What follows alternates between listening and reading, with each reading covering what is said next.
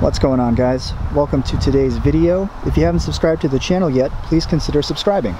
In today's video, we're going to do a comparison of a 2020 BRZ that has a stock exhaust and a 2019 BRZ with a fully done exhaust, so headers all the way to the back. So this video is mainly for anyone that's new to the platform, whether it's a BRZ, FRS, 86, uh, first time getting into exhausts, and what to expect as far as a volume difference.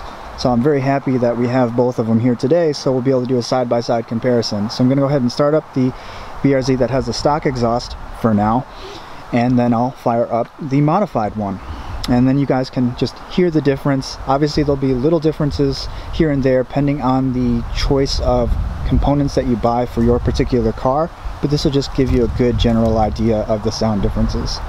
So alright, let's get to it.